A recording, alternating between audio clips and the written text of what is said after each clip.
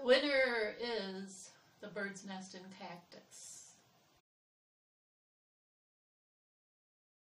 I'm going to do this painting as a series of videos so you can follow along.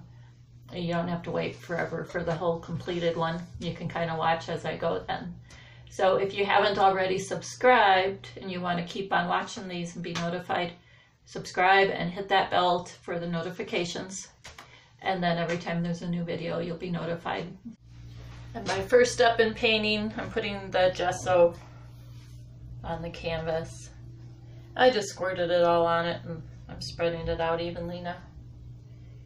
It'll take a bit to get this in a nice smooth coat. I'll probably put two coats on here. I'm trying to brush out any of the strokes. And then I'll do a light sanding in between coats. And once in a while you find a little spot of crumbs or something. This gesso got kind of old. It might have a few lumps in it. It's just um this is Bob Ross gesso. You can get gesso from any art supplies place. It's G-E-S-S-O. Any brand will do you. It's, you don't have to be real particular. But you want that coat on your canvas so that the paint adheres really well. It's, if you're putting all that work into a painting, you want it to last a long time. Archival quality. I use really good paints when I do canvas paintings. I like the Golden brand a lot. Most of my good paints are in here. Fluid acrylics come in two different sizes. You've got a one ounce, one ounce or for common colors that you use. These are four ounce. This is the Golden brand, and these are the fluid ones. Not the same as uh, you might be able to use them for paint pouring projects. But I like the golden brand and I like the fluid one. So I usually I buy these for my paintings. I do have some older paints that I started out with in the tubes. And there's still some colors I'll use in there. You can just dilute them with water or with the gel. I'll show you that too. Acrylic glazing liquid. That works well. That's a golden brand also. That works well to thin your paints with. Or this is a Liquitex retardant, which slows down the drying process. I'm in Arizona especially, the mister bottles of water, just water. That comes in handy. You can actually spray as you paint. You can buy palettes to use that will stay wet that have a cover on them, but this Tupperware container works just as well. And if you buy these little thin sponges, usually you can find them like at a dollar store in a package of several. Just cut it to the size that fits in your container. They expand a little when they're wet. Get that wet. Use palette paper and that can be cut to the size of your container too, which these aren't yet. And then as I paint, I use quite a few of these during a painting because I'll start, it starts to get pretty messy.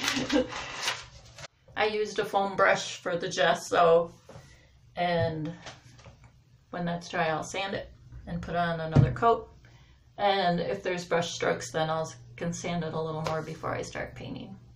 Next step will be transferring or sketching out the drawing onto the canvas.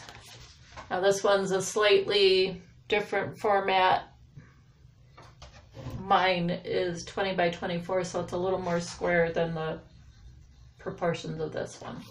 So I will crop this.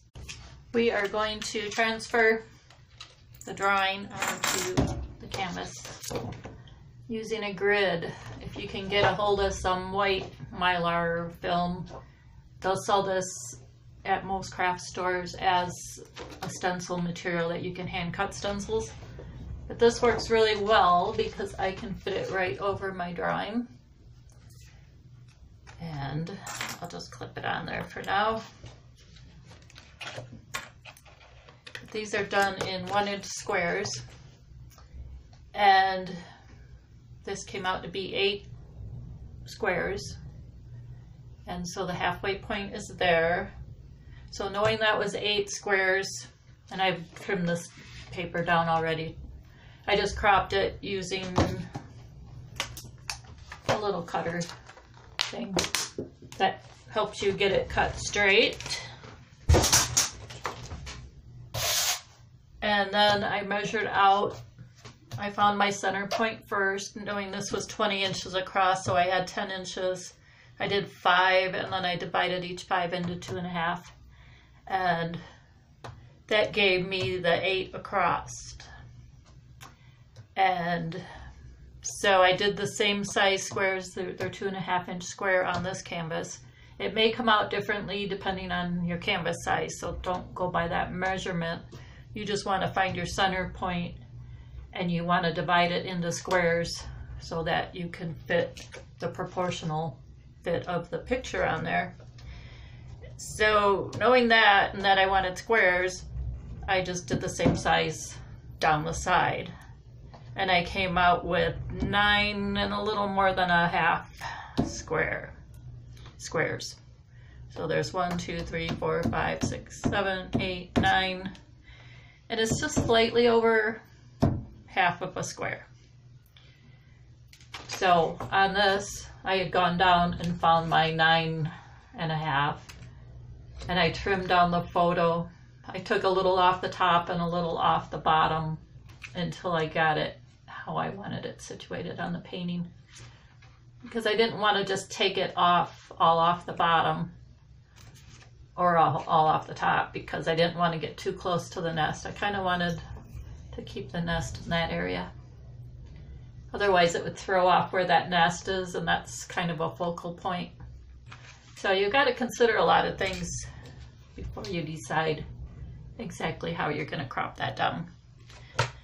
So now that I know my, I've just got little tiny marks on here, but I can use a straight edge and each square on here, you can see like the edge of this cactus in this square. So each little square, you're going to duplicate on here and everything. It's almost like a puzzle piece. So you'll just go square by square and getting some of your, you just need your basic lines in there because a lot of the work's going to be done in paint. Now, depending on what you're painting, I'm sorry if the light's a little bad. I've got my grow lights right over here. I get to look at plants while I do this. Um, you kind of have to decide if you're going to do like a solid background color or what you're going to do before you put your details on the canvas because I think I'll do like a little bit of a shaded background. I'll get some of the values in there of the dark areas and stuff and keep some lighter spots. So I need kind of a guideline, but I can be very blurry and vague with what I'm doing there. But that way I'll have paint on the whole canvas, not a heavy coat. It's just going to be like a light wash. And then I can go back and start penciling in some details. And when you pencil in and then you paint, a lot of times once you get it a little bit started, you can erase your pencil marks if you're just having a light bit of paint on there. Now if you're really good at sketching, just eyeballing it, or depending on what, what your work is, what your subject matter is going to be, you might be able to just hand sketch that on there. I am not trusting myself. I always like to really get the proportions right. I've done that before and been a little bit off and you know you could do the whole painting and then realize later somebody might point it out to you that you're just a little bit off or a little bit crooked line here or there. So that stuff's important to get things where you want them to be if it's got to be really accurate. Um, I do have some leeways with this organic type of painting like that. There's not like a straight lines or anything. Um, the other way of transferring your image, I do have a projector. You can put in just a tiny picture in the projector and you can project it onto your canvas. So I could have it set up and have my canvas up against the wall and trace with a pencil where things are. It'll project the image on that. You need to do that in a dark room. So I wouldn't be able to show you that anyway. Be kind of hard to catch on video. I'm starting with a little bit of the highlight yellow color that there's a lot of yellow in the background. Now I will be putting lots of layers of paint over this, but this just gives me a little bit of brightness to work with. So I can just look at where most of the yellow is and count my squares across and down and do that on the canvas too. So I can just figure out by looking at the squares whereabouts of where yellow is going. And it's bright right now, but that's okay. It's going to be toned down a whole lot more.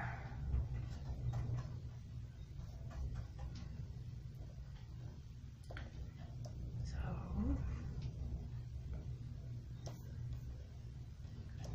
pour over. That's about across from here.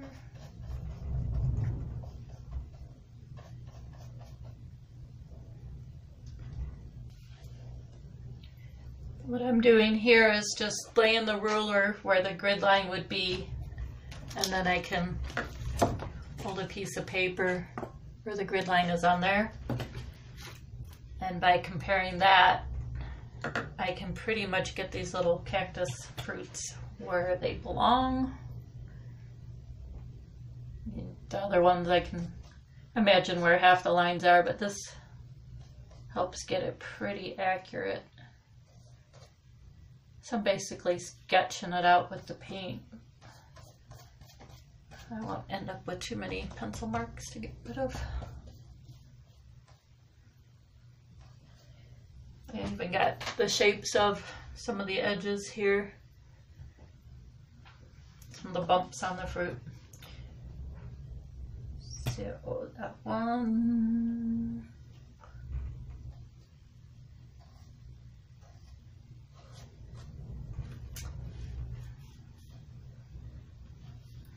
This design is a pretty forgiving one. I just find my marks across. Do the same here.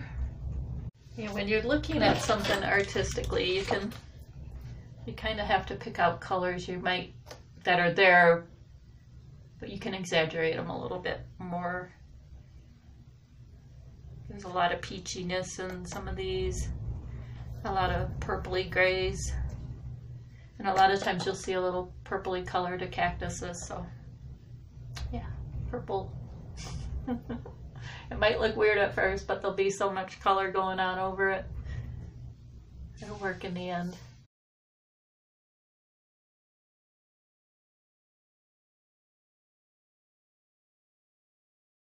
All right, thanks for joining me. Thanks for watching. And I hope you'll follow along. This is Cindy from Boci Creative Living saying bye for now.